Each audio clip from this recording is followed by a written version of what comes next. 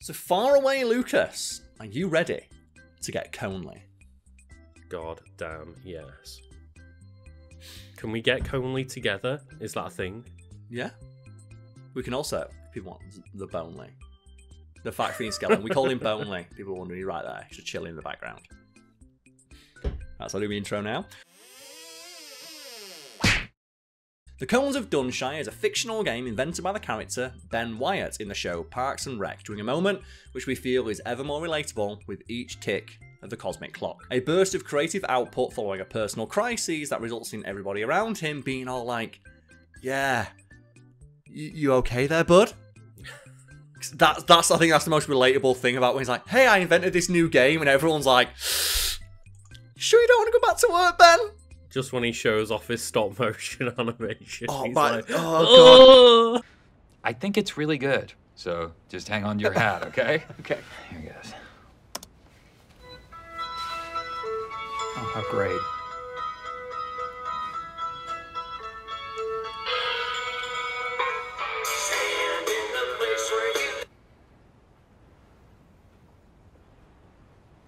Did you pause it? No, no, no, no, I'm not. You see, in my head, I thought that was really, really cool. In fact, I, I, I- I emailed Leslie two days ago and I compared it to Avatar. It's, I think it's the, like just Rob Lowe. The only time his character ever drops that facade is like, yes, is that all there is? And he's like, he just has that existential crisis. Like, this took me three days. It's like where that moment when you realise, yes, that is all that it is. That is what No. stop motion in, yes. But uh, to end the intro, um, but to end my intro, the Cones of Dunshire also ended up being real, thanks to Settlers of Catan. So first things first, Luke, as I open up my coffee, what do you know about some Parks and Rec? Um, I mean, I've watched Parks and Rec a couple of times through. Mm. Um, it's definitely, I think, like one of the better uh, sitcoms. uh, You know, the past like twenty years or so, and I think exemplified by the fact that its ending is just like done so well. It just gives a nice, gratifying wrap up to every single person's story. Yeah, like the final episode of Parks and Rec is just one of those like just finales that you look at and go, if every sitcom and every show got an ending like this, we'd be okay. Yeah, for sure. Like even side characters like get mentioned in that final episode, including ones that aren't actually pictured on screen. Like, do you know where like um, it's Typhoon it's in the future? oh yeah, like of Typhoon course, yeah. and Craig are married and they're there. If you look at like the champagne they drink in that bit, it says like Jean Ralphio champagne. so it's like Jean Ralphio just like made champagne in that future. Typhoon, my love. Happy anniversary. Do you have any regrets? Uh, I think Jean Ralphio gets like one of the best send offs of just like faking his own death and running away. I, I, I think though, Jean Ralphio on my first watch through of that show is my least favorite character, and then on my second watch through, is like actually no, Jean Ralphio's great. Even though honestly she is the worst. She is the worst person in the world. Huge skank. Uh, to be fair as well, like Jean Ralphio and his sister. Oh yeah, they're Mona both Lisa, fantastic. Like Saperstein, just. Uh, just some of the lines that he has of like, well, I got my money the old-fashioned way. I got hit by a Lexus. it's like, okay, sure. Oh, but um, the specific topic of today's video is the game The Cones of Dunshire, which, as mentioned, is created by the character Ben Wyatt during like a period of like his life that I think, as we've gotten older, Lucas, we can like better relate to, which is just feeling despondent at where your life's going and just having this burst of creative energy that results in you making something. I mean, we all lived through the pandemic, right? So Yeah. you know, lock, lockdown was that moment for many people where it's like, oh no, four seconds of stop motion anime. Like he's sat there, he ain't got a job, he's depressed, and he's like, you know what? I'm going to express myself creatively. Oh god, I suck at this. it's like that moment when you realize that you're not amazing at something after your first try. It's like, why? I had a week off in between jobs, and I've been cooking up something pretty big. The last time he was in between jobs, he got deep into claymation. So this should be different, hopefully. He's like, you know what? Just fuck this. I want to go back to working in an office. But yeah, it's like the game features very sporadically throughout Parks and Rec, but when it does, I think it's one of the highlights of the show. Yes. I say, and have you ever heard the reason why like Cones of Dunshire kept coming back? Uh, no, I haven't. No. It's because the set dresser was told uh, in this episode Ben's going to make a board game. It's like ridiculously convoluted. Uh, we need you to make a prop for that, and the prop they made was so expansive and so ridiculous that they felt bad about only using it for one episode, so they kept it and kept bringing it back. The Cones of Dunshire, a brand new gaming experience. 8 to 12 players, two wizards, a maverick, the arbiter, two warriors, a corporal, and a ledgerman. Now, the ledgerman just keeps score. Uh, I love stuff like that. Yeah, it's basically like the prop master just went above and beyond with what they were like expecting. Like we feel kind of bad only using it once. We feel even worse throwing it away afterwards. So they kept it and reused it for a couple of episodes where it would be um, uh, thematically appropriate. Like when he goes back to like the accountant's office and he gives them the cones of Dunshire. I knew it was too good to be true. Oh, I do have a little going away gift. Left it in the break room. If anyone could appreciate it, it's you guys. You can play with one warrior, but it's just not nearly as good. Enjoy, Ben Wyatt. Let's play. I call Benjamin. And just, you know, shout out to that accountant for obviously their gift to Ben, even though he constantly just fucks them over. They're like, mm-hmm. here's a gift, we've, we've put the copyright for it in your name. This is the copyright to Cones of Dunshire. After you gave it to us as a gift, we saw its potential, so we formed a C Corp and registered it in your name. This is Amazing. and just you know, you mentioned the finale to the series earlier. Um, I love that they mentioned yeah, the Cones of Dunshire got a sequel. It was voted like one of the most difficult games to understand by like Board Gamers Monthly. Oh. And, like, Like- and what? Oh, and what is your favourite part of the Cones of Dunshire, and why is it that just? uh, And what's your favourite part of Cones of Dunshire, and why is it the part where Ben just throws like eighteen dice? It's that See, bit where he just just goes, say- huh? It's just gotta be like that reveal when he wins with like the little lonely farmer. It's like you forgot about the cones. like, the essence of the game. It's about the cones. You forgot about the essence of the game. It's about the cones. uh, like such a good payoff in that Gryzzl episode.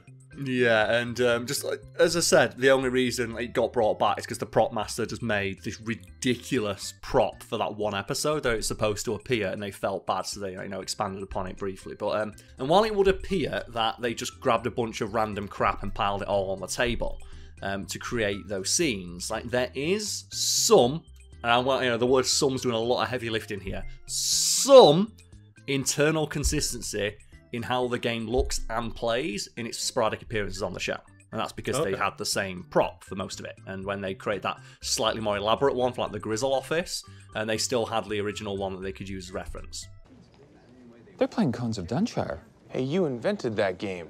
Are they playing any games I invented? Are they throwing dirt into a fan? The key is you have to throw the dirt into the back of the fan. How the hell did they? I mean, I'm glad that there's like some level of consistency there. Yeah, not much. It's mostly in how it looks.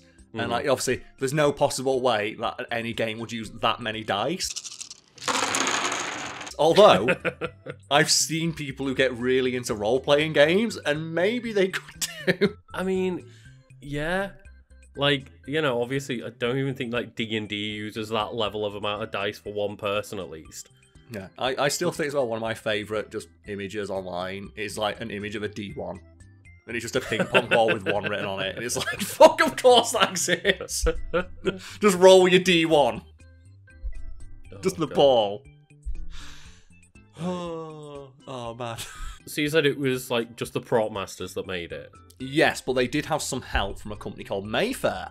And that name might be familiar to some people watching out there because Mayfair make the game Settlers of Catan, which is also name dropped on the show. Yes, because when they um they do like the night of bachelor parties and that, it's like, well, Ben, what do you want to do? We'll do anything you would like. It's your night, and they like, I want to play Settlers of Catan, and they're like, man, this is this is boring. Let's go do something else. Seven contiguous segments, giving me longest road and a sweet ass 10 points for the win.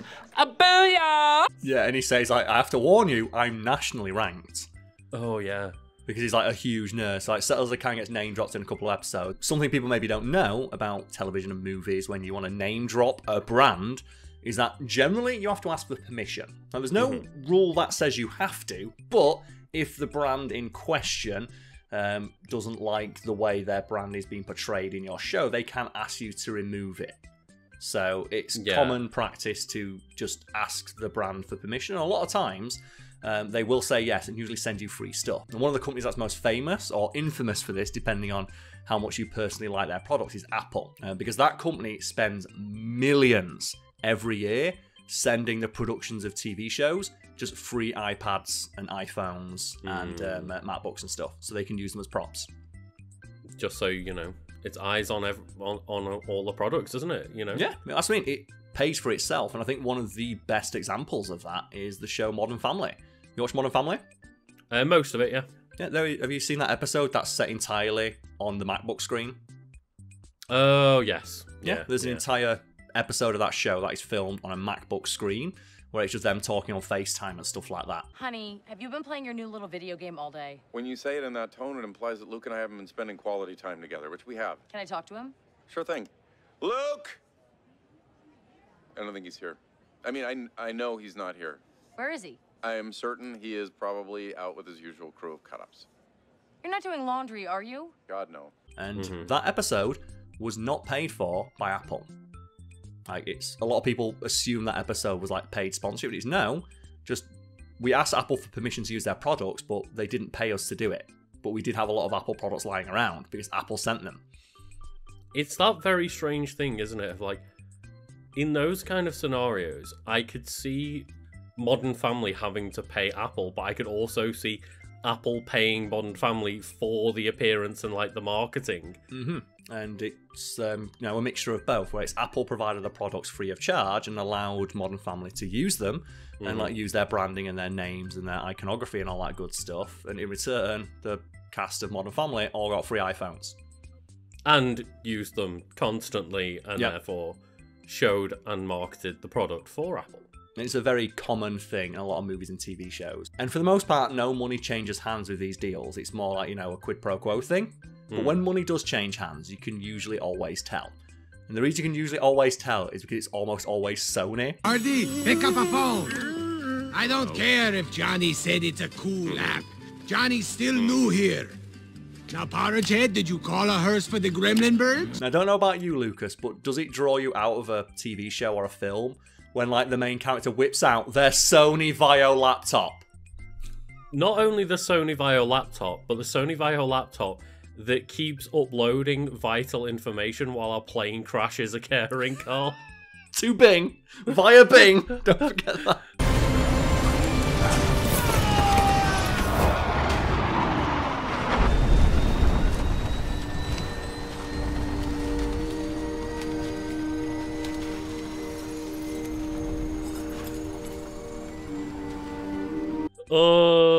God, like Amazing Spider-Man just fucking went hard. And bringing it back to Parks and Rec, it was a similar deal with Mayfair, where they, they didn't object to them using the Settlers of Catan name, provided you know a free a few free board games, and even create some of the props for the Cones of Dunshire um, uh, game. Oh, cool. I guess like maybe the figurines or something like that. Yeah, like they like furnished um, uh, the prop master with a bunch of stuff that would help them create like you know this incredibly convoluted game that's like sprung from the mind of like a self-admitted fan of their game. Because you look at so I've I've not played much Settlers of Catan, but looking at you know the the few screen appearances of Cones of Dunshire, you can definitely see the influence there, can't you? Yeah, with all the tiles and stuff, and like it makes sense because it just seems like Cones of Dunshire is the game that Ben Wyatt made because Settlers of Can wasn't Catan wasn't complicated enough. Yeah, it's like those people who like make the Kaizo like Mario hacks, isn't it? Like Mario's not hard enough. I need to make harder Mario.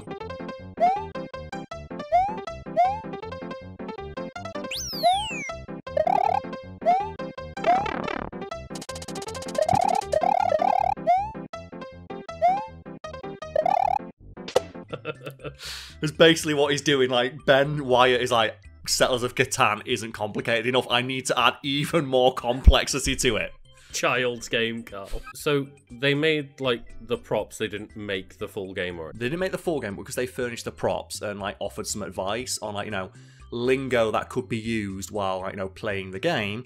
Uh, they started to receive a lot of requests to make a proper version, oh, of course, which yeah.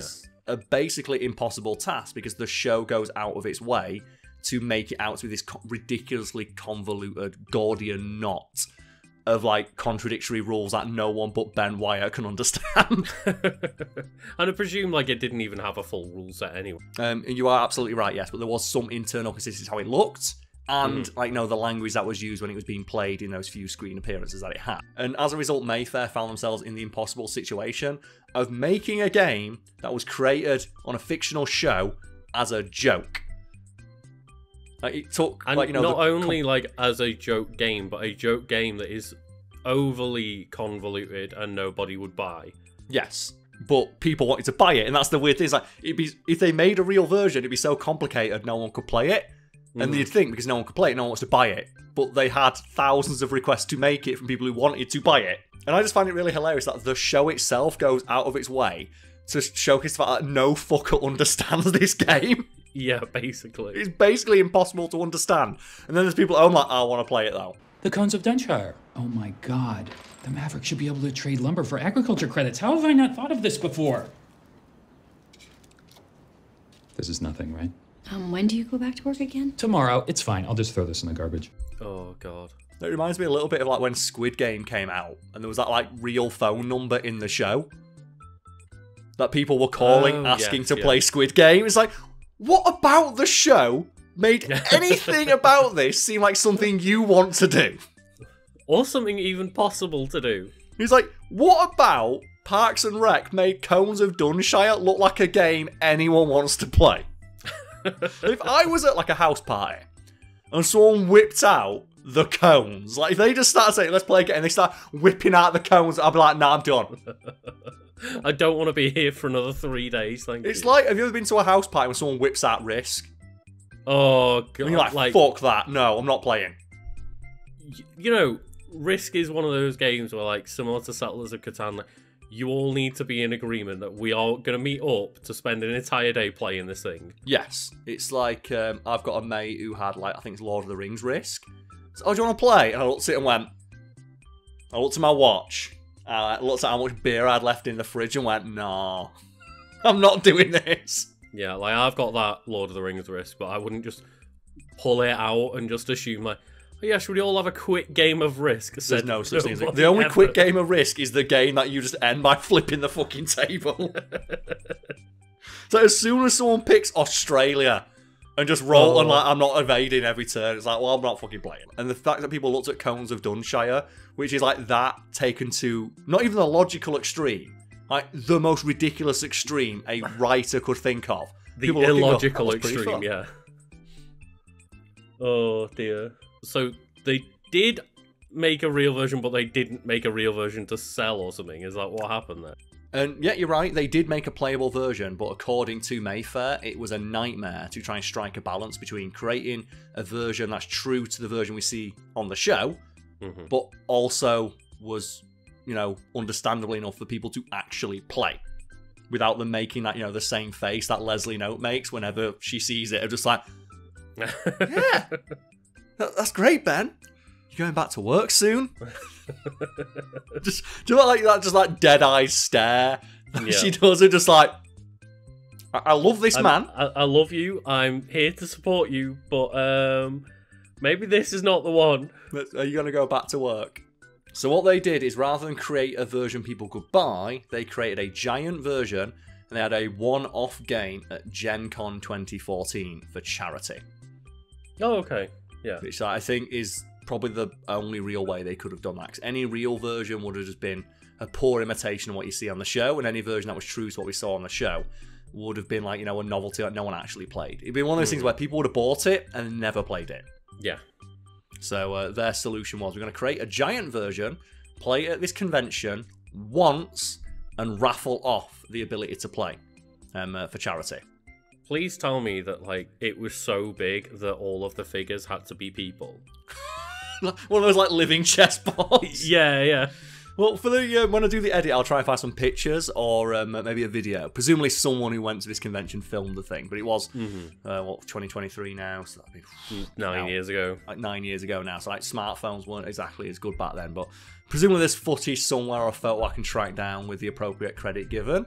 But yeah, so um, in total. There were 33 people who joined, with uh, one person taking the role of like you know they got the little captain's hat because I think that was the role that everyone wanted. Of like they got Of to wear the course, little yeah. captain's hat. Of course. And uh, yep, they played and they raised a couple thousand dollars for charity. And as a result, there are about 30 people on planet Earth who can ever claim to have gotten Conely in the Cones of Dunshire. And the one thing I hope they also raffled off is the ability to knock over the central cone. Do you know that big cone in the middle where the guy just punk? Do like a blind auction for charity so you can uh, raise the most amount of money to just be able to knock it over at the end. Yeah, because uh, that reminds me of an idea I've had for years now that I'm surprised isn't a thing. So, do you know when you go to a beach and you have those people make the really elaborate sandcastles? Mm-hmm. And they'll, they'll make, like, you know, a giant one or they'll make, like, a, a, celebrity or something on a TV show. And they'll just sit there and people go and take pictures of it and selfies with it and, that, you know, they um, give them money and stuff. I've always thought, why don't those guys who make those things wait till about one or two o'clock in the morning and then stand up, get a megaphone out and say, okay, who wants to give me a tenner to film themselves knocking it over? and do you, do you- just think like 1, 2 a.m., prime time for people who are drunkenly walking back home or to the next club. How many of them will be willing to have like a tenner, 20, 30, 40 Hmm. quid, start a bidding war to like run up and then on camera boot it over? Because when you walk past it, how much do you just want to run up and jump inside and ruin it? You don't. That's true. But you're so tempted, like, but what if I did that? That little voice in the back of your head. Yeah, and if they sold off, like, you know, after, like, no, there's, okay, families and stuff have gone, I'm probably going to go home now. Who wants to pay me a tenner to knock it over? Hmm. And I've always wondered why they don't do that. So if there's anyone out there who does stuff like that, or do you know, like street art, people make street art, I'd get a bucket of water and says, who wants to pay me a tenner to spill the bucket of water on it? Fair point. I've just always been surprised that's not a thing because obviously I've seen a lot of those street artists and stuff, and like most of the time they do create a new one every single day. Hmm. So why don't? And then they just usually wipe it up themselves or just leave it to the elements. Like, no, man, get some like you know, make some money from that. but no, since we've been talking about board games, though, do you have like a particular favorite board game? See, there's a board game that exists. Well, not a board game, a game Mhm. that exists in another TV show that I would really want to play. And what's that? Um, that is the game True American from New Girl. Okay, so I've not watched New Girl. Describe Well- True American to me.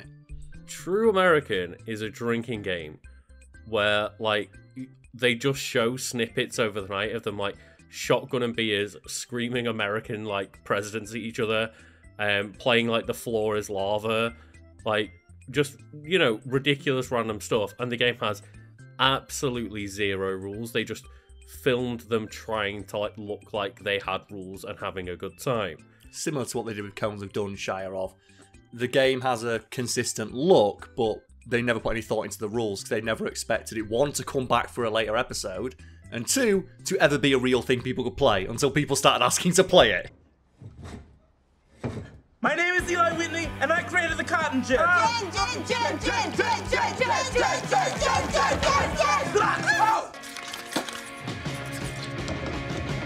Exactly, and that's like one of the biggest you know, requests of the fans of New Girl is like, tell us what true American rules are. And there's like, we didn't make any rules, we just made it look like you want to play the game. Yeah. And that obviously people have then tried to figure out like what's an amalgamation of like fake uh, rules and things that they did to try and make like a fan version of the rules. But try and you know, break down the um uh, like the scene in question. It's like, but when it was being written, there was no thought being given to any cohesion between these. That's kind of the joke. It's like I, I struggle to think of a specific example, but it's something I see happen in a lot of shows. Of character will deliver a punchline to a joke you never hear that makes no sense, and everyone bursts out laughing. Mm, yeah. Like I can't think of any specific examples, but that happens so much in TV, doesn't it? Like someone will deliver the you a character will walk in as a punchline's being delivered, and everyone's like is in like uproarious laughter. It's And like, I oh, imagine what it's was like the that. joke? What was the joke? It's like there wasn't a joke. Yeah, it's like people go, oh, what did they say that was really funny? It's like they didn't say anything. They're actors acting in a Yeah. scene. Like this scenario did not exist until the camera turned on. Like they didn't roll before and tell a joke. So I know it's the um, I think it's the show One Foot in the Grave, which um, ends with spoilers for a twenty-year-old sitcom. The main character dying. Right. And the last episode ends with um, uh, the wife of that guy meeting the person who killed the husband. And it ends with them giving them a cup of tea. And it's left Okay. completely ambiguous whether or not they did something to that cup of tea. I think I'm remembering this correctly, but the actress spoke for years afterwards that people kept asking her, So what happened? It's like we didn't keep filming after the episode aired. Like we didn't like no stop the episode and then film what happened next. I don't know. Well, it's similar to something we talked about in the past, isn't it? Of like the ending of the thing, and it's Yeah. like there isn't an ending; it's ambiguous. That's the point of people. Yeah, I understand that, but what's the ending? It's like similar to this one, isn't it? What, what are the rules to Cones of Dunshire? Well, there aren't any rules. And then people watching, oh, he throws these dice and he talks about like the farmer and the cones. It's like, yeah, but that's because we, uh, we created language for it and we wanted to keep the language consistent, but there's no like logic to the game as we created it. It's just a thing on a table. It's loosely tied up enough to be able to edit it to make it look like it's a real thing. And that's about it. That's all that exists of it is just some loose threads here and there that make it look like they made a game. It's like what you saw on screen is all we've got, but people are instant. There's got to be something else, right? And in some I'm pretty sure that. they made the entire game and actually spent an entire day at the Gryzzl location really playing that game, Karl. Mhm. That was an actual game that they played for hours, right? What's something like maybe a director like Stanley Kubrick or Akira Kurosawa? Maybe they'd have done something like that. Maybe they would have invented an entire game. and there are stories of things like that happening. Like um, uh, an example that springs to mind for me is the uh, I mentioned Kubrick. Joe, the all work and no play makes Jack a dull boy. Right, yeah. And they walk up to the script and she goes through the few pages and it's like, oh, and he's going insane.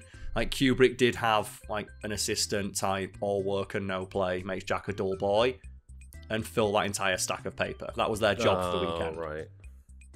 Like, just that's one of those things. That, like nowadays, that's a nothing job because you just like you know Control C, Control V, Mhm. and print it off a printer. Whereas like someone had to sit down on a typewriter and do Yeah. that. And Akira Kurosawa would also do something similar where, like, there's one film, I forget which one it was, but it's like people were drinking out of teacups and, like, they bought Mm. teacups. All these teacups look too new. So, yeah, we just bought them. They need a lot of they've been used. So, what do you want us to do? And the like, you know, the person probably regretted that question when Akira Kurosawa told them, I want you to make a thousand cups of tea out of it. So that assistant spent all weekend making cups of tea, pouring it into the cup, pouring the cup out, pouring the tea into the cup, pouring it out, pouring it into the cup, pouring it out. Hundreds and hundreds of times. I understand trying to like you know age up a prop, but actually making a thousand cups of tea, like goddamn. Yeah. For realism. And I feel like a director like that maybe would have made the Cones of Dunshire into an actual game. but unfortunately, when to my knowledge, like- um, uh, Stanley Kubrick doesn't direct Parks and Rec. No, yeah, that's the thing, isn't it? He's of, too like, busy being dead. When it's a goddamn sitcom that they've got to churn like 22 episodes out of per year, Mhm. they ain't making an entire game of Cones of Dunshire for real. But that's the thing, they did. Or at least Mayfair did. And they created a version that was only played once by about 30 people. And good for those guys. I mean, I'm jealous of those guys. I am. I, I'm like super. jealous. It's one of those things like, yeah, so you're the only people on planet Earth who can ever say they've played a full game. Except for like Adam Scott on the set of the show. And even he didn't play a full game. He just pretended to be the captain. Oh, but he's still he's still the architect though.